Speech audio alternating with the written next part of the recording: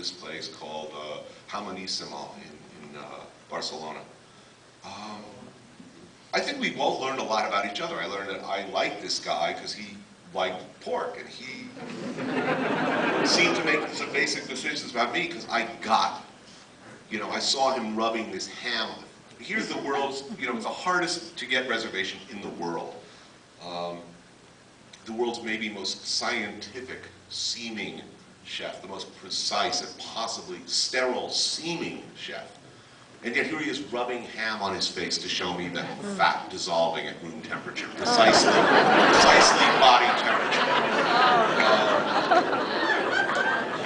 Um, I, I think the real answer is, is there anything more fundamental to appreciating, to, to Spanish cuisine and to whether or not you're ever going to get it?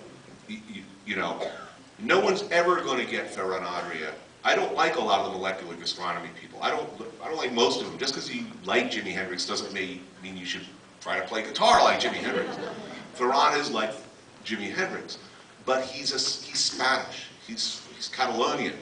And, and at all times, those flavors, those ingredients, those traditions are fundamental to what he's doing.